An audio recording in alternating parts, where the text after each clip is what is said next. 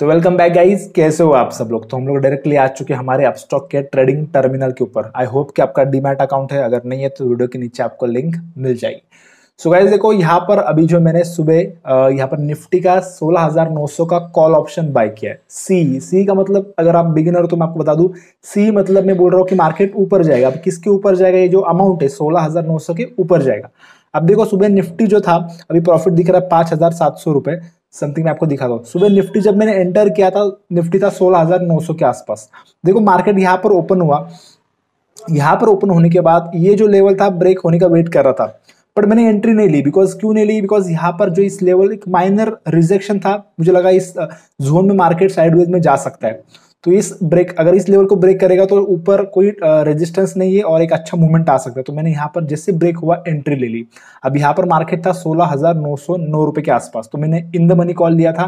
तो बेसिकली आप देखो, काफ़ी अच्छा मूवमेंट अभी दिख रहा है। मैंने एक्सपेक्ट नहीं किया था। बड़ा ग्रीन कैंडल तो ऑब्वियसली यहाँ पर जो हमारा टारगेट होने वाला है तो ये जो हमारा टारगेट ऑब्वियसली बिकॉज़ एक मेजर रेजिस्टेंस है, उसके पहले भी रेजिस्टेंस है बट यहाँ तक टारगेट कंप्लीट हो जाएगा। बट लेट्स से अभी यहाँ पर अभी बहुत बड़ा मूवमेंट आया तो प्रॉफिट भी ओके तो एट थाउज़ेंड प्रॉफिट दिख रहा है।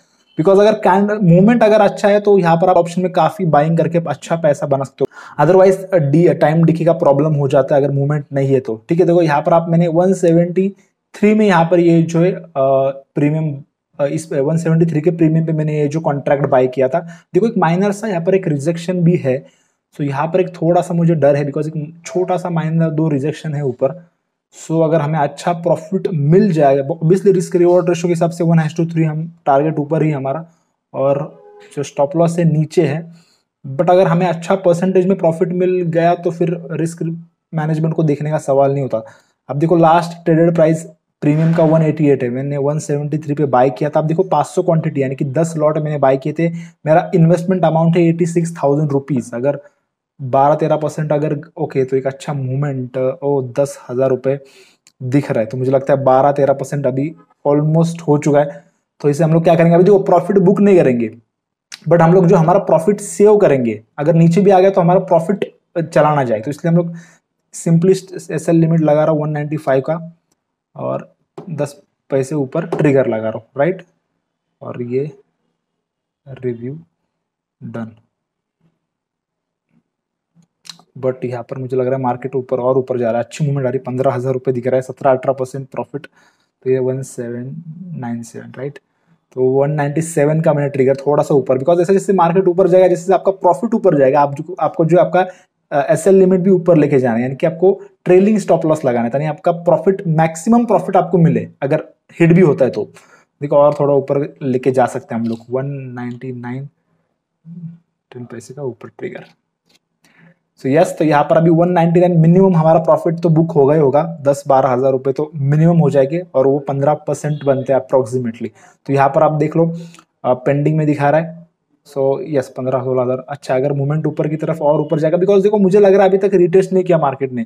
और बैक टू बैक बड़े बड़े ग्रीन कैंडल थोड़ी तो बैकवर्ड पुल बैक आ सकता है। थोड़ा तो मार्केट नीचे गिर सकता है, ऊपर एक रिजेक्शन थोड़ा लेवल है। पाँच मिनट का कैंडल है। अब देख लो, दस मिनट के अंदर दस हज़ार रुपए का प्रॉफिट हमें दिख रहा है और हम बुक कर लेंगे बिकॉज़ अभी हमने स्टॉप लॉस लिमिट लगा दिया है। ओके तो ये बुक भी हो चुका है। थोड़ा सा रिजेक्शन आ गया, यहाँ पर आप देख लो। और ये जो बुक हो गया देखो 192 का 190 के आसपास अभी जो है प्रीमियम दिखा रहा है। तो यानी कि अगर इतना लॉस होता अगर हमने स्टॉप लॉस लिमिट नहीं लगाया होता तो, तो सेफली हमने बारह हज़ार छह सौ रुपए का प्रॉफिट बुक कर लिया। देखो थोड़ा सा रिजेक्शन आ गया बिकॉज़ रिटेस्ट करने के लिए मार्केट नीचे आ सकता है। मुझे वही लग रहा है मार्केट नीचे एक बार भी अभी बिकॉज़ इसने रिटेस्ट नहीं किया। देखो प्रीवियस यहाँ पर जो मार्केट साइडवेज में गया गया था पिछली बार सपोर्ट भी लिया था तो ये बहुत एक स्ट्रॉन्ग लेवल था। अच्छा खासा मूवमेंट यहाँ से इस लेवल से ब्रेक होने के बाद दिखने वाला था। तो यहाँ पर आप देख लो, परसों के दिन market sell on rise downward direction में था। सेम हिस्ट्री रिपीट कर दी पर, कल के दिन और आज यहाँ पर ओपन हुआ। अब यहाँ पर ओपन हुआ, यहाँ पर आप देख लो ट्रेंड लाइन का कुछ इस तरीके से सपोर्ट लिया था। सो so बेसिकली ये ऊपर जा रहा था, मुझे लगा जाएगा ऊपर अच्छी तरीके से इस लेवल को ब्रेक किया बट इस इस जोन से बाहर निकलने का वेट कर रहा था। एक बड़ा कैंडल दिखा एंड इस लेवल को ब्रेक किया तो मैंने एंट्री ले ली।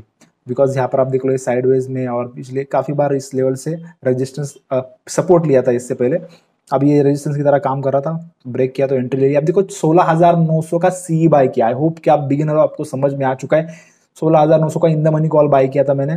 सोलह हज़ार नौ सौ के ऊपर गया, सोलह हज़ार नौ सौ पचास तक गया था निफ्टी तो जैसे जैसे ऊपर जा रहा है, अच्छी मूवमेंट दिख रही है तो ऑब्वियसली हमारे फेवर में मार्केट जा रहा है तो हमारा प्रीमियम भी बढ़ेगा।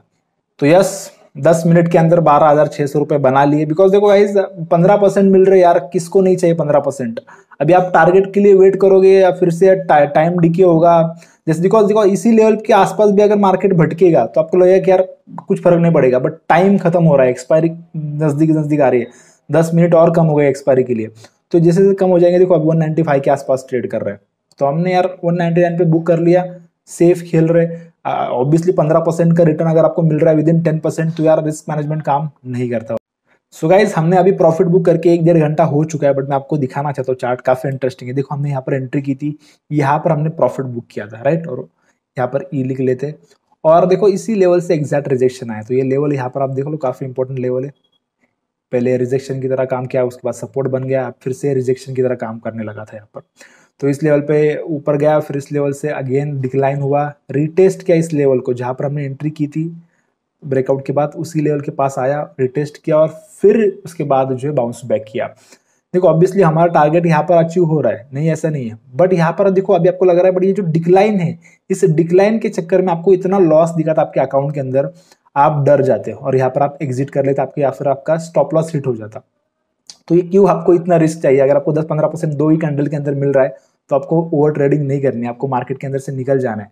आई uh, होप कि आपको ये वीडियो पसंद आए। इस वीडियो को लाइक कर दो हमारे चैनल को सब्सक्राइब कर दो। ऐसी बहुत सारे वीडियोस के लिए मिलते किसी और नेक्स्ट वीडियो के अंदर। तब तक के लिए बाय